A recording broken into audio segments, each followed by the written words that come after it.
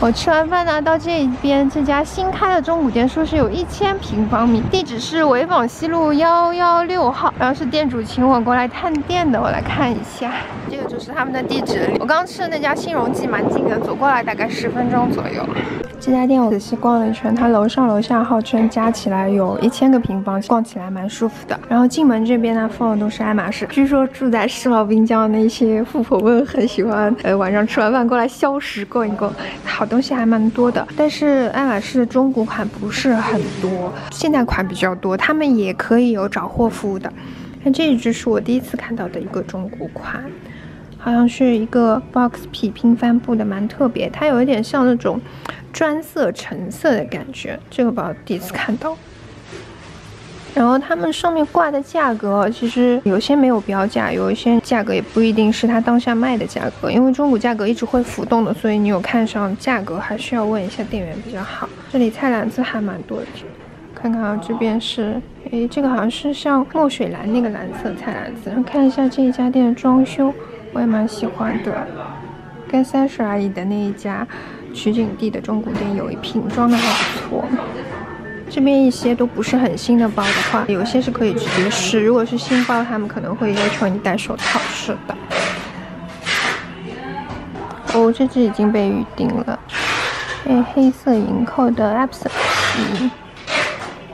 这边就是一些比较热门的这种金刚色，平时比较难买到，他们就是拿来放着撑撑门面。楼上会有一些比较特别的爱马仕，等一下带大家看一下。然后走进来这边会有一点点丝巾啊，我不是很有兴趣，就略过吧。然后这里也是几个不算很特别的包，这个是 Ferragamo 的。然后是有一点点的流浪包，说流浪包最火的还是这个颜色和黑金，就真的是卖的比较好。可能我这种比较喜欢稀有款的人没有那么多。然后是一些 LV 的款，这个是前两季的一个男款的，是牛仔蓝色，这只还蛮好看的，但是带子蛮长的，一定要自己背过才行。嗯，蓝天白云系列也有，但这个盒子很大哦，看一下哦，这个盒子非常大。啊，这个是刺绣透明款的盒子，我好像第一次看到。这个 Nigo 系列的也有。啊，这种盒子我是劝大家不要买啊，要买肯定跑中古店来买比较合算，原价真的不值得。然后两只牛仔橙色不太行，这只比较旧，这个还行，这个就中间一般行。然后巴比龙不是很多一只，它基本上现代的一些款倒是比较多嘞，对吧？小书包那边也有，盒子和圆饼也有。哎，其实我觉得这只我倒是第一次看见实物，它比我想象中要好看一点。不知道价钱多少啊？那写是写三万七千五，但刚刚有一些包我看它标的挺高的，其实问它没有那么高，因为有一只我朋友有点兴趣包，所以我刚刚是有的包问过价钱的。然后这边是一些迪奥的，哎，我其实刚刚有跟店主聊，他们说迪奥的 Lady 会卖的很好，因为专柜的话可能三四万，但是如果跑到二手店来买，一般就是两万出头就可以有了。但是我们没有问具体尺寸啊，因为我个人觉得迪奥 Lady 的一些普通款会比较无聊一点，但是很多初入包坑的人觉得还是拥有一只经典款会比较值得的话，是可以考虑来二手店买这种经典款会便宜一点。那这边是一些 Gucci 的包。哦，这只是大的独马，大的独马好像两万八吧，也还行。这什么的。啊，这是 LV 的包啊。可爱吧？对的，蛮可爱的。只是黑色的而已。嗯，但是这个水波，我跟你说，怎么用都不会用旧的。对吧？嗯，我觉得稍微有眼眼扑鼻了。哎，不是黑的就好了。这是蛮哎，灵灵蛮，对的，很特别的拎一拎，这个蛮好的。这个 LV 对面呢，有一些 Chanel 的包，会按颜色放一下，粉色的什么？哎，这个粉的化妆效好新哦，鱼子酱的，它写一万五。哎，这好像就是前两季的，但是我觉得这一支白色会更好看点。哎，可这罗信哦，贵。嗯，这个网络。嗯，可这牛仔最好看。对啊，我眼睛上牛仔才是最好看。这个是之前我有说过那个 Hobo 包最值得买的是这个，但是我第一次看到粉的，我觉得没有黑白的好看。因为这是羊皮的大迷你吗？好像是的，一个粉色的。然后 Trendy CC，我觉得 Trendy CC 来二手店买会比店里买划算，因为 Trendy CC 不太加价的。这边是一些首饰，还有一些，哎，这个也蛮特别的，这个刚刚没注意。哎，下面是那种毛毡的材质，上面是牛皮的。哦，这只珊瑚粉色的还蛮新的。哇，这个是个莫奈的包，小粽子包两万六啊，两万六有点贵了。哎，这只小的莫奈蛮可爱的，嘿嘿。哎，这个忘记你前面拎的那个 LV 意思一样的，就是，对啊，这种还蛮可爱的手拎。你就心动了是吧？那这个粉的太小公主了，阿拉已经不来塞了。哦，这个囡恩就老好了呀。哦，对对，啊，囡恩再过大概六七年就好开始背活包了。这里一些耳饰我刚刚没怎么仔细看，这个熊好旧哦。这确实嗯，老特别，我还第一趟看到。哎呦，还有这一块，这块我前面没逛。哎，这什么？哦，老错了的啊。嗯，哎，但是搿只啥么子？我第一趟看到哎，像个大号手机包一样的。哎，实际上帮 GUCCI 的手机包差不多，哦，再宽眼，再宽眼。GUCCI 的手机包再矮眼，但是大小啥么子差不多的。因为说，因为这只老特别，就是太久了，太久了这只。嗯，这只这只雪奈儿有眼。像小朋友背包，菜场里妈妈拿得起买菜不？还有这个是链条的，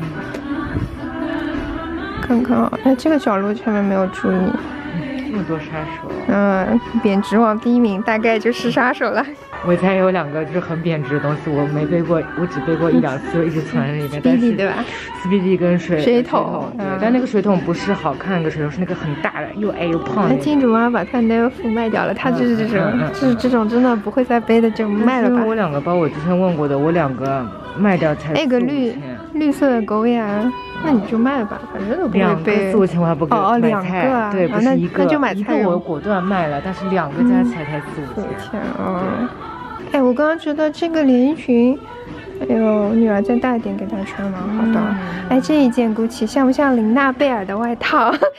一样的那个粗花呢的格子。再戴个那个帽子就啊，千鸟格格子。啊，对对戴个贝尔的帽子。哦，这一边呢就是一些专柜新款，但是有一些会比较难买的款，就比如说这个黑的小金球。我刚刚背过了，我觉得上身其实还不错。然后这是我第一次背这个小费包上身，我觉得还挺好看的。其实就是买不到牛仔的。然后给你看一下后面，我缩了这这么长一段，所以大家都跟我说小费包带子短短的，我不知道，我就喜欢短短的，可能我真的就是喜欢背的高高的，我觉得挺好看的。就真的蛮费的，然后这家店店主就为了这些小包，他特地去换了个三星折叠手机，是真爱了。这个是那个耳机包的上身，这种东西啊，我当时虽然说很不实用，但是看见实物觉得还是蛮香的。不过贵还是蛮贵的，我应该不会买。而且我自己的是 AirPods，我不是 Pro。这个白色装的是 Pro，嗯，好看是蛮好看。这种有钱的小姐姐当个装饰背还不错。啊，这是黑白的波也还不错。然后它还有这个山茶花的。山茶花这款呢，觉得白色会更好看，但是他们只收到了一只黑色。然后看一下这一边的是那款，我觉得这只还蛮特别的，那种很酷的女生背还挺合适的。它是这种缝了三层线的菱格，我觉得蛮特别的。第一次看见这个，这个好像是，哎呀，刚刚跟我说什么九零年代还是八零年代的一只小腰包，保存的还不错的。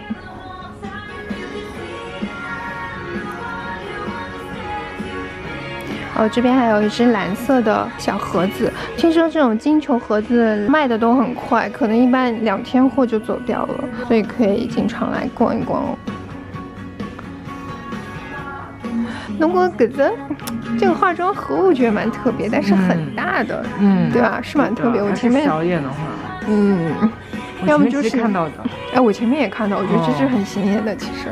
哦，就是这只，好像有点像牛仔布的，可能真的旅行装、化妆品用的。生活中背太大了，因为看一下跟前面那个 Walk 比的话，它比那个 Walk 还要大很多吧。我家里任何一个化妆包都没有它的大。死了死了，我也没有那么大。让我们看看下面这些款，嗯，可能我看黑的就没有那么带劲。还有比大的米黑盒子还大。哦，对的，这个是大号的米黑盒子啦，好像是这个大的米黑盒子，这个化妆包比那个还要大那么一点，也太大了。然后这边几个白的，我我们说一下白色皮质哦，我们刚刚觉得这个款其实还不错，还蛮特别，是一个现代款。但是从皮质上来看的话，你看这个鱼子酱的皮，看上去就是更耐用的一点感觉，像这种。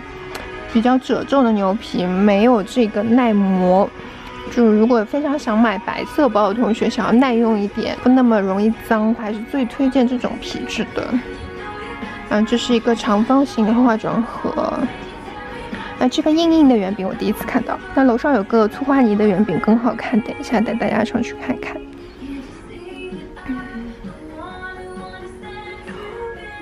有个钱包嘛是。大概老婆也在的时候的那个珍珠链的设计了。这里有个粗花泥的化妆盒，但我觉得这个粗花泥的花色一般。然后有两个方胖子，这个是漆皮的黑色，这个是羊皮的蓝色。哦，这个钱包原来还有个白色的珍珠链，其实珍珠链倒是可以自己改造的。然后这是大概就上两季的新款，那个牛津剑桥包一样的感觉。啊，对，这一只包两万八千八，这只包我觉得应该会有同学惦记着的吧？它是一个大 mini 的尺寸，我背给大家看一下吧。这个是二零零八年的德国汉堡系列，也是很难找的款了。这个就是我平时一直一直推荐大家买的大 mini 的尺寸，就是尺寸非常合适百搭，而且很能装一个手机、一个充电宝和一些日常化妆品都没有问题。但是链条要想办法自己缩短一点，正常背的话这么长，我自己背要缩掉这么多。哇，这一只大 mini 真的很香哎，不到三万块钱，这么特别的款。但是以我的剪片速度，估计我剪出来它已经卖掉了。这只包是我今天觉得，如果我没有那个水桶系列，我最会冲动想要买下一只就是这个包了。然后它有丝绒的部位，但是不是最早呃一二年的那种复古做旧银扣的部位，是一个乌金扣的部位，我觉得太亮了。再加上它是一个中号，就有点大。这里，然后这里也是一些，哎，裙边款，扇贝裙边款也有。那，这边牛仔包倒不多，就看到这么一只 tote，但是是我喜欢的那种蓝牛仔缝的黄线。那我们现在上楼看一下，楼上有一些比较有年代的款，还有一些厉害的爱马仕。上来这边会有一些 tote 一样的包啊，有一只黑色的保龄球的包。嗯，店主说他还是比较喜欢我那只牛仔的。这只是 Celine 的渐变色牛仔，但是超大一个这个包。然后二楼的装修，装修的也还不错。二楼比较有复古的情调。啊，这里摊的啥包啊？我有的也不太认识。那这也是救生圈的包，他们有个黑白的小号。我现在看救生圈还蛮可爱的，看了好几次了。然后这边有一只比较复古的红金的 Trendy CC。哦，对我刚刚说的粗花泥，我觉得这一只小圆饼的粗花泥会比较好看一点。我觉得这个粗花泥还蛮好看的，后面有点粘毛了，但应该还不是气球，气球有啊，好像有那么一点哦。正面看成色还可以，其实店主跟我说，真的可以卖过原价的 Chanel，就是那些专柜你根本就买不到的大爆款，可能这种款式不会比原价高的，所以来收一个这种二手的还是比较划算的。哇，这边还有个亮片的大 mini。那个人鱼饼饼哦，对对对，跟我的人鱼饼饼很配的，对吧？对对对的。我之前看到你什么人鱼饼饼？哎，我觉搿只老可爱，记得。但是伊搿只橙色，嗯，橙色不大新搿只。它标两万八，这个也不止两万八，应该没有两万八的。这种标价不一定准哦，大家问问。就比如说前面那一只德国汉堡系列，它标了五万，我问他，他他一扫其实是两万八千八。然后说有小姐姐订了这只非常粗犷的包，我是 hold 不住的啊！这种包我不是很建议大家买哦，因为这个最后塑料都会发黄的。但这只还看上去蛮新的。我前面有问店主说这个包多少钱，他说大概只有三千多，所以当初花原价买来的人真的是要吐血了。前面还说什么包？哦对，还有这个 Roy 的小珠包，像这种风刮的特别大的包，我一般不太敢去碰，因为真的过时也会蛮快的。这种 Silver 好像中古店也看到过好多了，都拿出来卖了。还有好多 Prada，Prada 都放地上了。这里有个白色相机包，但是有点点偏米黄色、奶黄色了。橙色倒是还可以啦，但我觉得再白一点会更好看一点。不知道是不是原来就长这个颜色。哦，还有一只白的，这个太大了。这个角落是一些不太热门的款。还有两个 her bag，这两个颜色我很难驾驭的。哎，刚刚有个多少四十九万的在哪啊？哦，在那，在那。四十几啊，四十九吗？已经预定了，这是全场最厉害的一个包，雾面全鳄鱼的二十五黑金 Birkin，是新的好像，它锁上的膜都在，已经被人买走了，四十九万好像忘记了，不到五十万，我觉得还行吧，毕竟你不用花力气去配货了。他们爱马仕找货跟 Aloha 一样，一般只要七天，找不到的话是可以退你钱的。有个白色 Rollis，但这个是大的，二十三的。然后来看一个，我平时不是挺嫌弃红色的 Birkin 吗？但是他们这一只红的很特别的，是一个走白线的。不过这一只呢，并不是别人的马蹄克。这只包比较特别的点在于，它里面是蓝色的。这个应该是一个官方 Verso 的 Birkin，是三十的尺寸，然后是方框的批克，年份比较早了，但是价钱还挺合适的，七万块钱。这个颜色也蛮特别的，就大家来看一下，如果是不走白线的包。差不多也是砖红色的感觉，看上去是不是就特别普通？但是，一旦走了白线，哎，我觉得就好看起来了。虽然我不太适合红色，但这个确实是我见过除了雾面 box 皮以外最好看的红色 Birkin。然后后面还有一个 Louis 的菜篮子。我们这边迪奥的 Toto 我看到也蛮多的，好像楼下也有。有一只拼色的二四二四 mini，粉色拼红色的，嗯，这个颜色我 hold 不住。然后一些 Furla 的包，你看这个小盒子，其实拿出来卖的人挺多的。这边好像比较主张寄卖，寄卖他们会在给你的价格上稍微加一点卖，然后寄卖他们也不用压货，所以对双方来说都比较合适吧。哦，对，我的饭盒包是一个粉色的。店主说这位女生拿了就是被迫配了一个，拿到又不太喜欢这个颜色，想来想去还是把它拿出来卖了。是个大号的，我觉得有点大。哦，对对对对对，这里有一只比较特别的，叫什么？G 区啊，好像它又是特别在走白线，是这种深蓝色，有点像海军蓝的颜色走的白线。但是这个材质呢有点特别，它有点像这种草席的感觉，所以不是非常平滑。但是这个材质的 G 区我是第一次看见，我觉得这个颜色很特别的。哎，它这个小圆包都还比较可爱的感觉吗？是吗？他们家很多小朋友背的包其实啊，对对对，小朋友估计蛮可爱的。那时候被杨幂带火的嘛。哎，可是。搿只调都蛮好。对，我记得，但是就是上铺搿种嘛，就上铺种肩带，对吧？就它有肩带啊。那我说那手拎带着，感觉就是那种很什么？脆弱，就是很脆弱，对吧？哎，这这还蛮实用的，我感觉。啊，肩棉背前面，哎，这只小包蛮可爱的。写多少啊？一万三千八，我觉得应该不要的，大概几千块，我差不多。这可以，可以。哎，可这啥牌子啊？L V 的，我真的是 L V 哦，这个太年轻了，我不行。然后这边比较吸引我的款呢是这只爱马仕，其实我很早就关注过这个包了，但是刚刚我上身了一下，发现我当时呢在日本的中古网站上看见这只包。它的腰带就是很特别，就是这个样子的，哎，虚虚的，我就不知道这个腰带背出来是什么效果。我给大家看一下，这个包是不到一万块钱，应该我没有具体问，因为我在日本的网站上看，基本上都是一千美金左右。它怎么用呢？就是自己打结。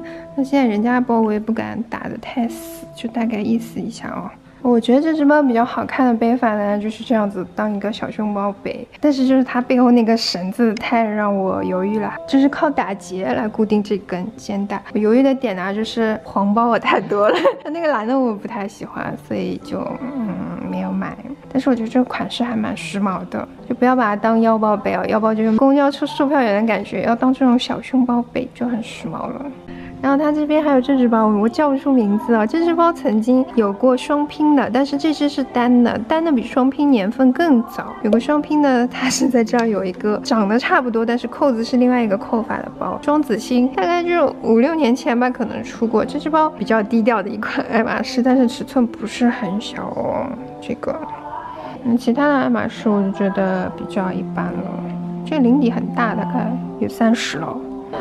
哎，我觉得这只迪奥其实蛮好看的啊。它是牛牛哎，还有个口袋，对的，这只迪奥蛮好看的。看看它是多少钱？一万八，估计大概就一万出头可能。又是牛仔布，又是牛仔。哎，我来背一下。是牛仔配色。对对对，这个颜色老领了。哦，好大一只，但是它这个设计蛮好看的。我觉得要拎着比较好看，这样我肩背就不行了，对吧？拎着蛮好看的。它这一边侧面应该还能扩张一点，对，前面皮带扣调一下。哎，这只还蛮帅的，男生背应该不错。哎，这只不错不错。这个是现在购物袋的老板。嗯。对的，嗯，是的，现在的 Book Tote 的有可能是原始版。哎，我就喜欢它这个牛仔裤带带，而且关键是牛仔就皮带嘛。啊，对啊对啊。人家走起流量可以背。啊，对对，搿就是牛仔裤屁股搿头走起，对吧？但是肯定要把搿面背了前头呀，对吧？做成做了牛仔裤样子。搿面好看，搿面好看。缩小一点呢？做那么大干嘛？搿是男士屁股，就是可能按男的。哦，哎，是我刚刚是讲搿只包男的背比较好看的啦。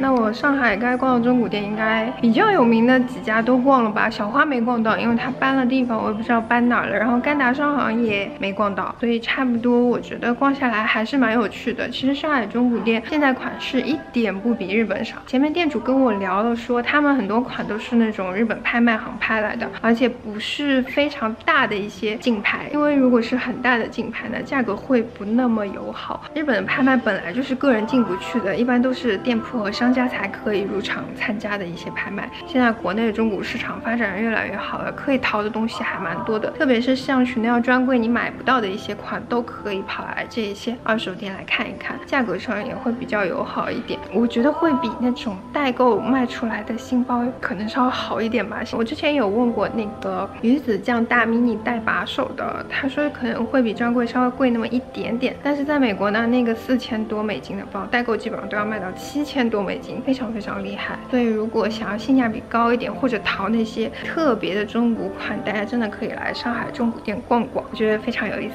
很值得。那我上海中古店探店基本上到这里就结束了啊，打道回府美国了，好没劲啊，拜拜。